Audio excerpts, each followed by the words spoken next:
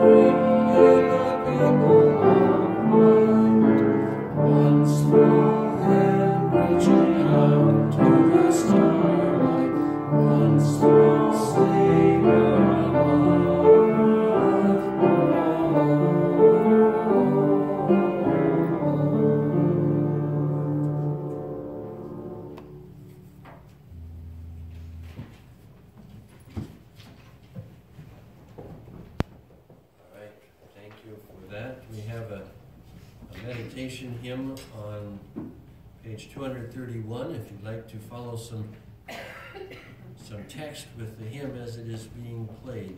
It's called I Heard the Bells, number 231.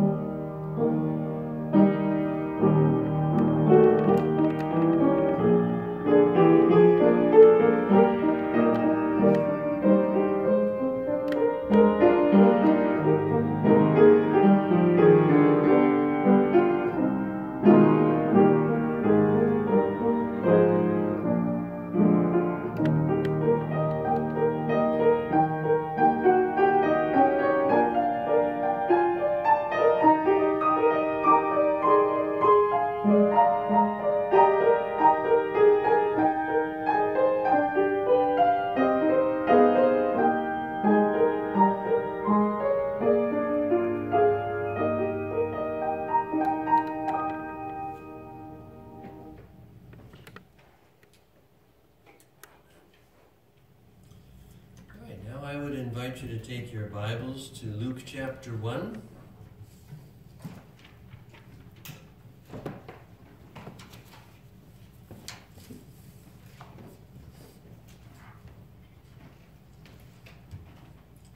Luke chapter 1, I'll be reading from verse 24 down through 38.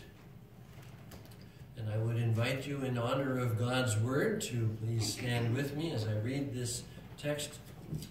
I will read it, follow along in, in your copy of the scriptures from Luke chapter 1, beginning with verse 24.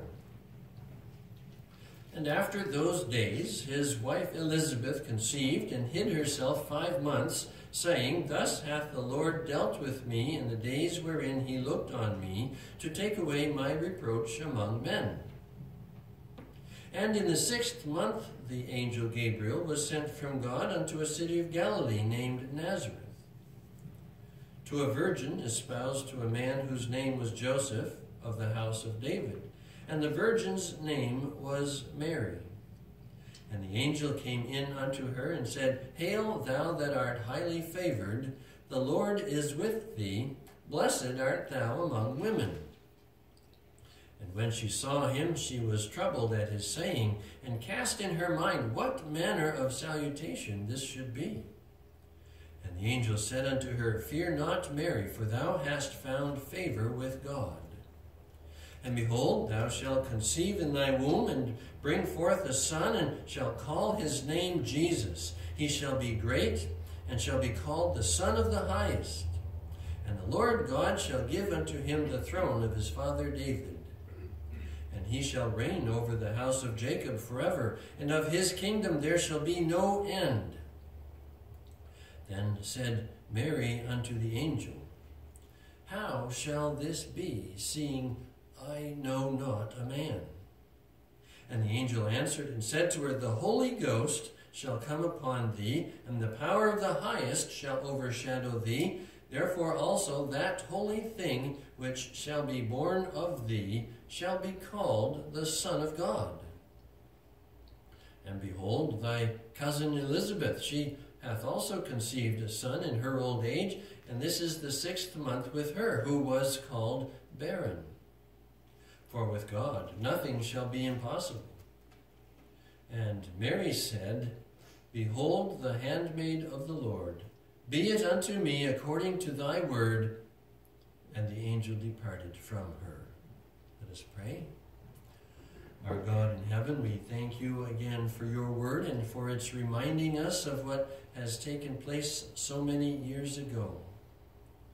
And now, God, as we focus on, on Mary, the mother of Jesus, and on her response to the angel, we pray that you will help us to acknowledge more closely, more readily, our own position before you our own frail incapabilities and help us to focus on glorifying your name in all that we say and do in Jesus' name. Amen. Thank you. You may be seated.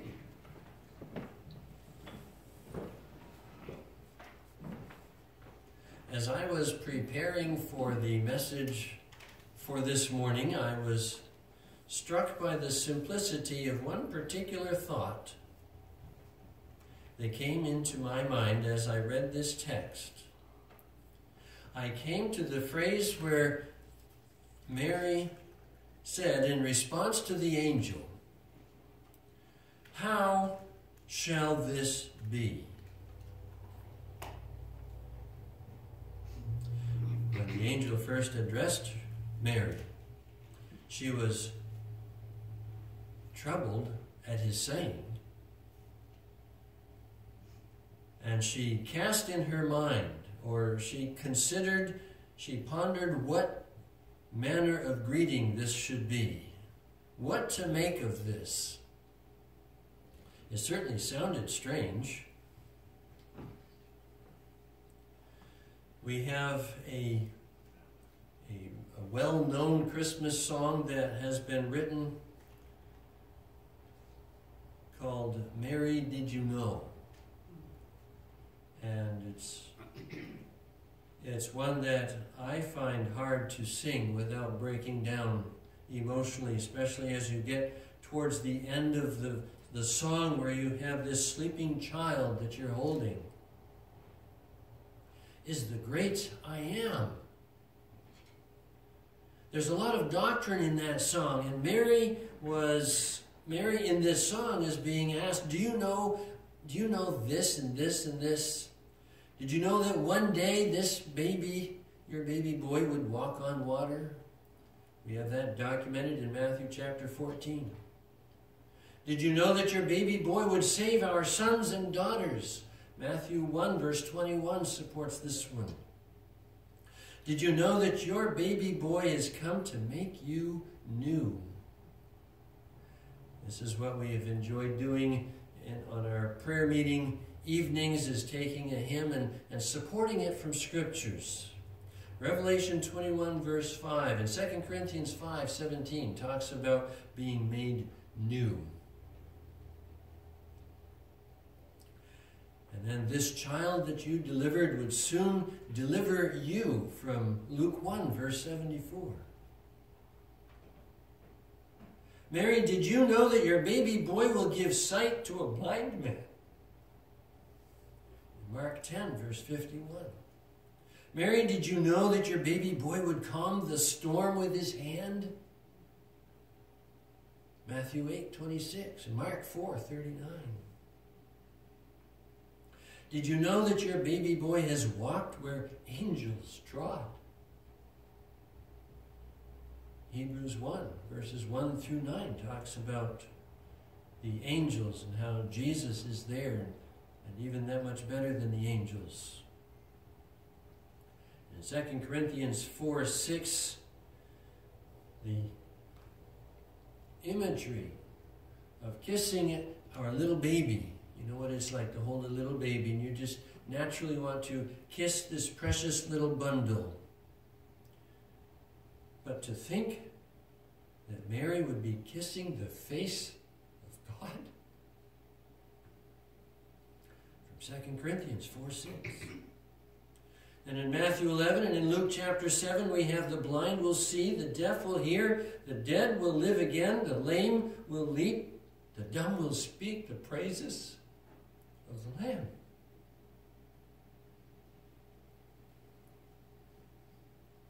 And in Acts chapter 4, verse 24, did you know, Mary, that your baby boy is Lord of all creation?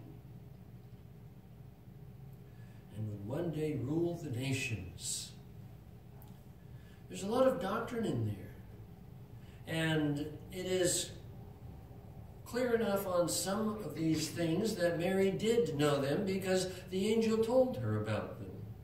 Maybe she didn't know them before the angel told her, but then again, she didn't know she was going to bear the Christ child until the angel told her. But in terms of all the rest of the, the doctrine, maybe there's a lot of stuff that Mary didn't know. And I can just picture if Mary were to be presented with all of this information about what her baby boy was going to do, it would be so overwhelming. And, it, and I can picture Mary saying, How can this be? I don't understand. And lest we think that she was suggesting, How could my baby boy walk on water? Or save our sons and daughters? Or how could my baby boy give sight to a blind man? She was not asking, how shall this be in terms of all this doctrine that is being presented to us in that particular hymn? No, from Luke chapter 1, we get down to verse 28. The angel comes to Mary as a single young woman Three strikes right off the bat. She was single. She was not of any age or experience. And she was a woman. And in verse 29, it says that when she saw the angel, she was troubled at his saying and cast in her mind what manner of salutations should be. It's not supposed to be that hard to get into a package of tissues. Sorry about that. She was afraid. Pardon me. And as the merit, and as the angel is telling her these things, Mary comes down in verse 34 to saying, How shall this be, seeing I know not a man? Now we have a consideration here that Mary doesn't need to know a lot of these things. There's a lot of doctrine that perhaps she doesn't understand. But Mary is coming at this whole situation with a very simple and a very practical and a very pragmatic approach. Almost as if to say, You're telling me that as a virgin I'm going to have a child? Now, I don't know what God you represent, angel, but perhaps you don't understand how God designed human life. Perhaps you don't understand how I, I am a, a virgin woman. I have not known a man, and perhaps there's something that's not quite communicating here. This you know, if this is coming from God, God, do you realize what you've just said in terms of you created me? You know how you created me, and now you want me to do what?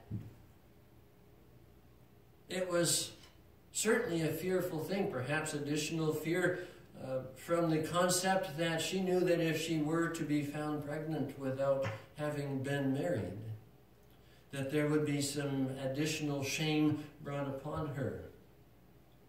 For whatever her fear, she comes in verse 34 to this question where she is addressing God, or addressing this angel, the angel of God. How shall this be? I don't understand. She's not asking about all the doctrine of how Jesus was going to do all of these wonderful things that we know in hindsight that he has done. She was simply saying, God, you want me to do what?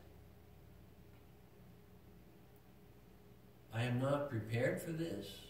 I'm not designed for this.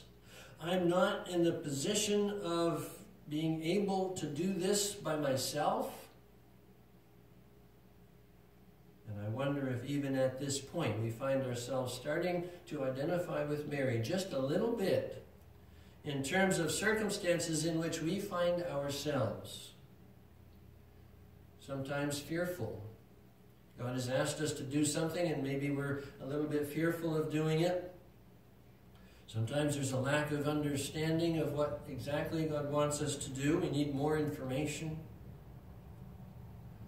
And sometimes we actually have a a legitimate concern that we can bring to God and say, God, I don't understand. You haven't designed me that way. Well, God has a way of changing the design that He designed into you. Whether it's called being wired one way or another, or whether it's called being naturally given, or whether it's called uh, personality abilities, natural abilities.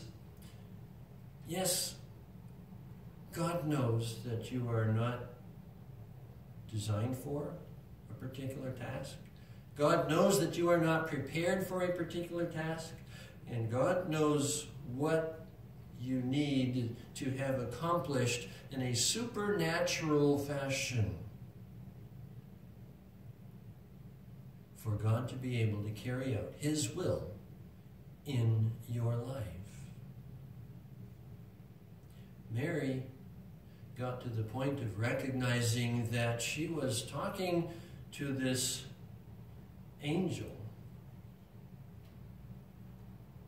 The angel's name was Gabriel, was given the name in verse 26. And she was communicating her concerns, and yet she was also encouraged.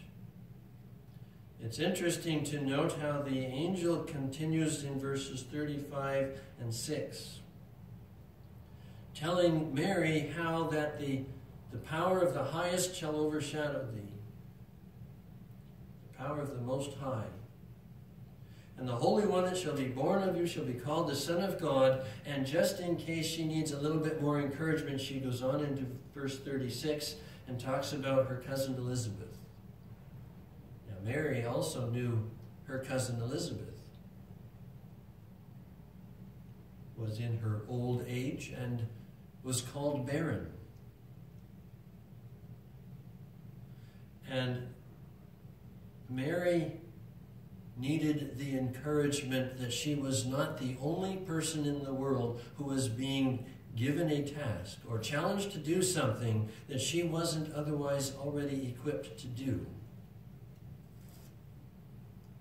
And in verse 36, Mary is given the encouragement of her cousin. This is the sixth month with her that was called barren. By this example, she was encouraged to recognize, as we have in verse 37, that with God nothing shall be impossible.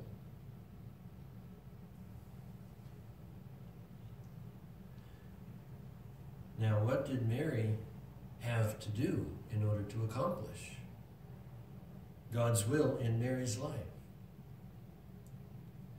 we get down to verse 38 and we find out that Mary simply replies, Behold, the handmaid of the Lord, referring to herself.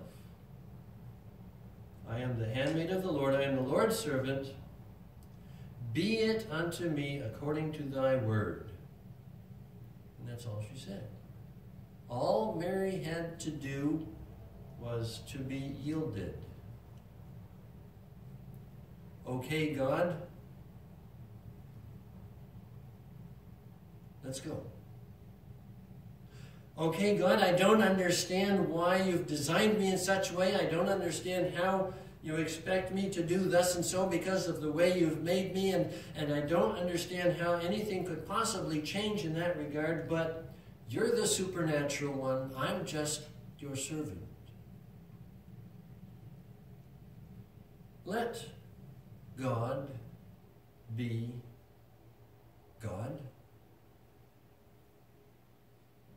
And when God gives us a task to do, whether it's to preach in the pulpit or to be a doorman in the house of the Lord, whatever it takes for you to be able to do what God has given you to do, simply yield your life, your mind, your attitude, everything that you have. Yield your entire future to the Lord. Say, Lord, it's, it's all yours.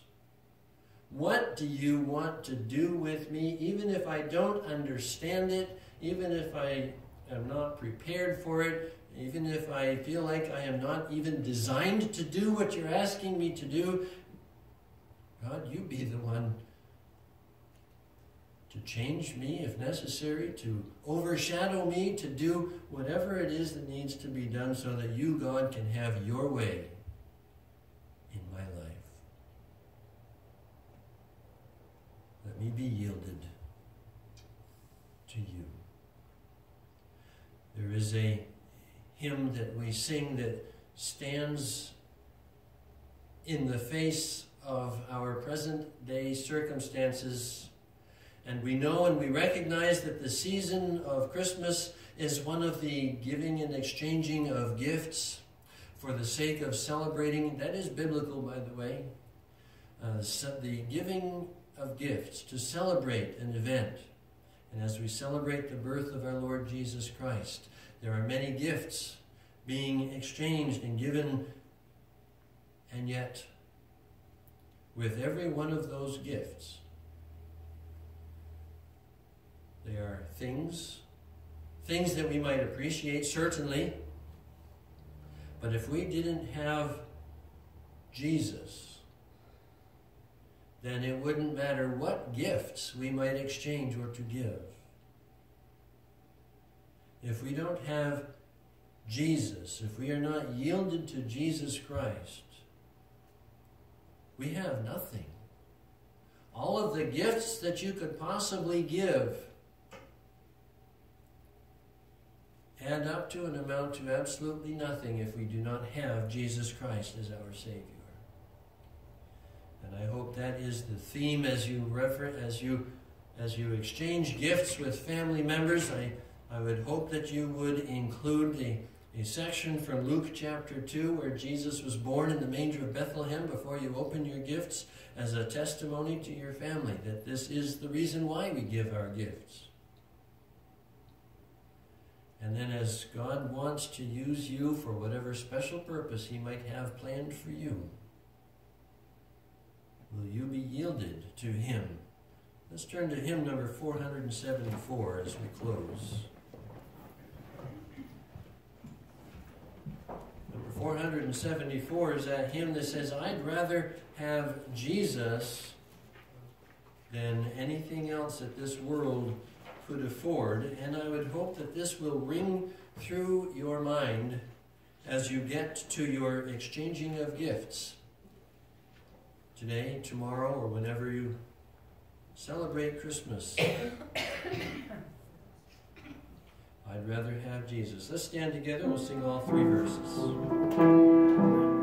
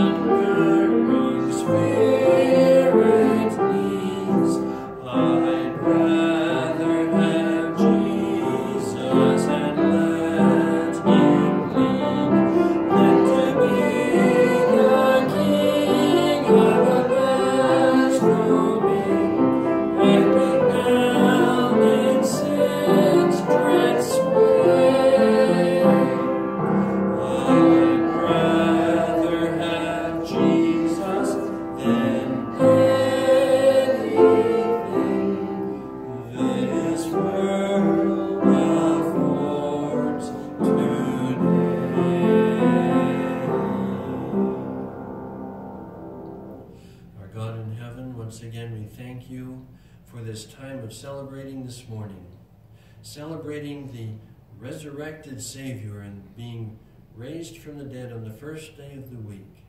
And on this particular special Sunday, in which we celebrate as well the very birth of our Savior, we thank you for the special message that we have to share with the world so that they too can hear and understand that there is salvation available. This illusion that there is no judgment is just an illusion. There is a judgment, but there is also a mercy for those who will receive Jesus Christ. We thank you, God, for the privilege of being able to celebrate your birth together as your church, your local church body. And I pray as we leave that you will go with us in, in safety and help us to declare the good news of your salvation wherever we are celebrating Christmas this week. In Jesus' name.